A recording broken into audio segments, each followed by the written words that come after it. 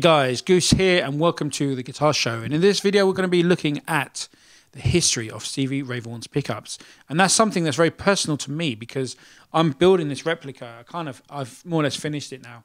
You know, I'm, you know when they had in 2004, John Cruz made I think hundred um, Stevie Ray Vaughan replica guitars, and I, I, I was drooling, and, and I kind of lost out on the chance to buy one of those amazing guitars. Um, but um, in this video, we're going to find out a very interesting thing about the pickups on that guitar. Um, but also, uh, I want um, through my quest to find the best pickups possible to get that Steve Ray Vaughan tone. Um, but come on, let's face it, it, You know, your fingertips have a, and your brain has a lot to do with this, and your your soul. But apart from that, I was looking for the best pickups, and my friend Paul, who's kind of my my, he's like behind the scenes. He's, he's you're not gonna you're never going to see him in, in a video, but people who know know Paul in England. And um, Paul kind of put me in touch with Alan Dingwall, who makes these amazing pickups. And for viewers in America, you may not have heard of Alan Dingwall, but you will soon.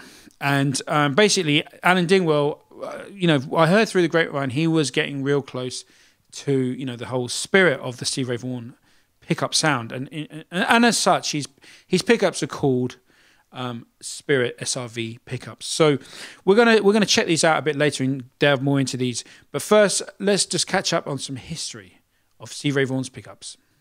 Okay, guys. So Stevie originally acquired his number one in 1974 at Ray Hennig's Heart of Texas Music in Austin, and the guitar was originally owned by Christopher Cross. Now, Steve Ray Vaughan thought the guitar was from 1959 because when he opened it up and looked at the pickups, they had 59 written on them. However, to quote his longtime guitar tech, Rene Martinez, he says, That's right, the reason why he called it a 59 was because of some wiring in it. The back of the pickup said 1959, so the pickups were a 59, but the body of the guitar was 1962. My attitude was, hey, it's your guitar, you can call it whatever you want. Fender didn't make a habit of writing the date that the pickups were made on the black bobbins. So it's much more likely that the pickups were made around 1963, which was when the guitar was made.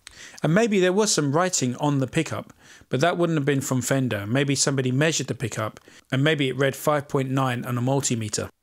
From 1950 until 1964, Fender pickups were made in what is known as a black bottom design, being black on the bottom side. They had Alnico magnets with rounded edges. The wire was copper in colour and the entire pickup was dipped in hot wax to eliminate unwanted microphonics. Surgical rubber tubing was used as springs to adjust the height of the pickups. In old pickups, this rubber hardens over time and no longer springs, so it's often necessary to replace it. Another one of Stevie's texts, the late great Cesar Diaz, says, quote, It was a 62 neck with a question mark body. I never saw the date on it. One time a pickup blew up and we changed it for another black bottom. Black bottoms were used up until 1964 when they started appearing with a yellow date on them. The magnetic field changed in 1958 and 59, and if you took a later pickup, and change the polarity, they'll sound like the earlier pickups. The polarity changed from the broadcasters to the telecasters too.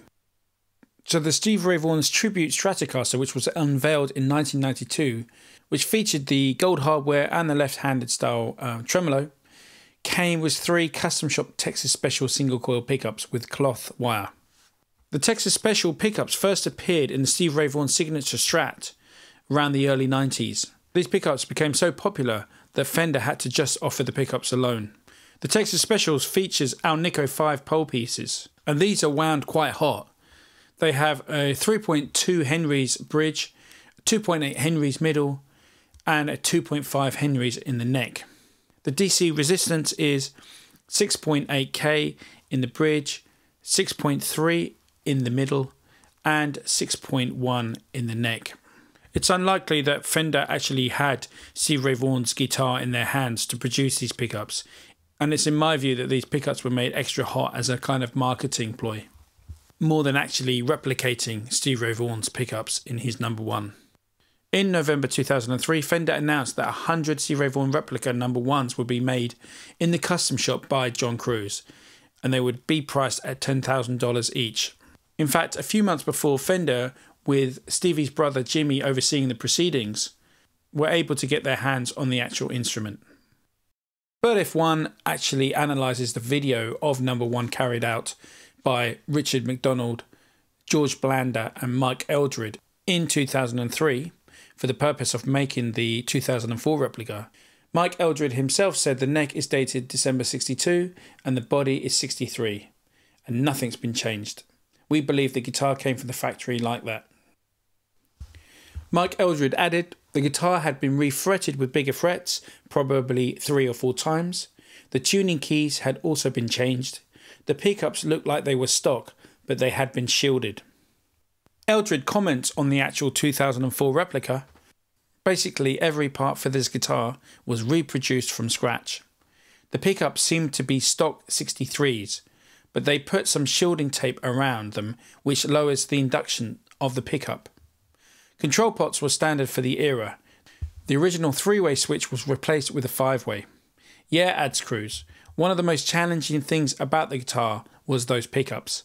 Basically, they were stock but really weak, and we noticed that the neck pickup had a bit more resistance than the others. It wasn't until the covers came off that the guys spotted that shielding around the pickups. So we went to the degree of doing that for the tribute. Most people will never see this stuff, but it's something extra the kind of thing you'll be paying for. So, guys, one question I've always had is what actually were the readings of the pickups in Steve Ray Vaughan's number one? We don't actually know the details because although Fender examined the Steve Ray Vaughan guitar, they didn't actually divulge any of the information uh, specifically about the pickups. But there may be one clue. Before the 100 replicas were released in 2004, John Cruz spent weeks getting the first prototype correct. Apparently, Fender digitally recorded every single minute aspect inside and out, going as far as recording the exact output of each pickup. Now, the spec sheet for this guitar states that the pickups are custom shop hand wound 60s single coil Strat pickups, and these are Abby hand wound pickups. Fender made a lot of these sets. The readings for these pickups are 6k in the neck, 5.9 in the middle, and 6k in the bridge. So, guys, make of that of what you will. Now, without actually examining the guitar, we don't know if these pickups were, you know, wound to the exact measurements of Stevie's pickups, or on the other hand, Abby just wounded her normal hand wound 60s single coil Strat pickups. So, in my opinion, I think that Stevie's pickups were an average set of 1962 to 1963 pickups. One thing to bear in mind, guys, it's also likely that Stevie Vaughan's pickups were rewound and could have even been replaced. And all of this information is probably lost in the mist of time. So we can only go on what Fender has told us as a result of the uh, examination in 2003. Okay, guys, welcome back. And uh, as promised, we're going to hear a little bit more about these pickups that um, Alan Dingwall made.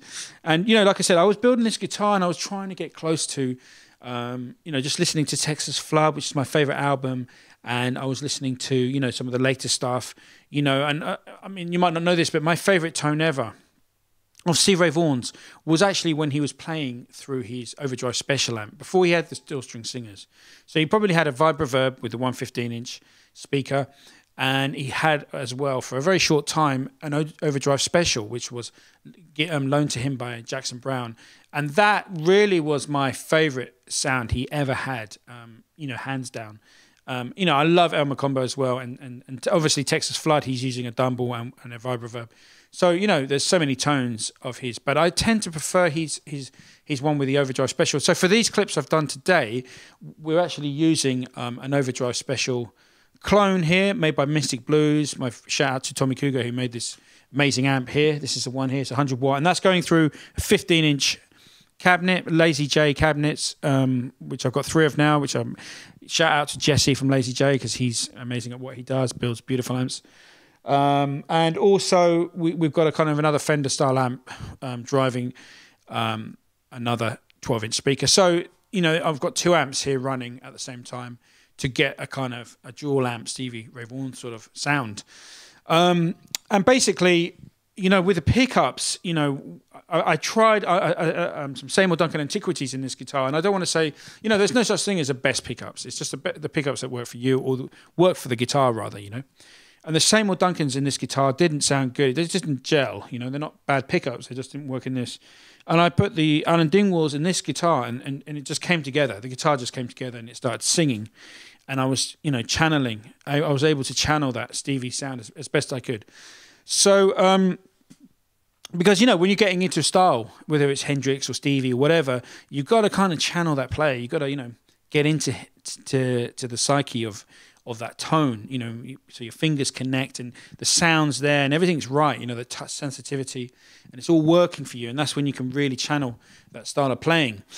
And so with with with Alan's pickups, I think you know he's gone. He's kind of gone all the way, and like I, we, we've just you know we've you've just learned about in the history video part of this video you know, Alan's done that. He's he's really gone down, and you know, um, you know, they're shielded as as as Stevie's was, and these are the values are around the 62, 63 pickups. You know, so it's it's it's pretty much you know you, you can you can put these in and you can forget and just play. You know, you know you're you're in the ballpark. Um, I think some of uh, Fender's pickups, like the Texas Specials, you know, whilst some people may love them, I, I don't think they were really close to what um, Steve Ray Vaughan was actually using. Because Steve Ray Vaughan, let's face it, he was just using 62 pickups, you know, which had shielding, you know, for most of his career. Um, and the Texas Specials, whatever they were, I'm not, I'm not really that much up on what they were, but for me, they've never sounded great for that style. And I think um, I think Fender just made pickups for Stevie what Fender thought he might like, rather than actually being accurate. And they, they didn't get his number one guitar and measure, start measuring the pickups and measuring how many Henrys they were putting out, you know. So, um, and ohms, whatever. So, you know, that's really where it comes down to somebody who's who's going to go all the way and do all the research, you know, really, really go down the rabbit hole like we do in these videos, and then put a pickup together. And and that's what Alan Dingwall's done with these ones, and that's why I want to give a big shout out to Alan and say uh, thank you for for getting this this beautiful set made, and uh, forgetting the tone because like literally this guitar didn't sound good, you know, and I put these pickups in, now it does. So you know.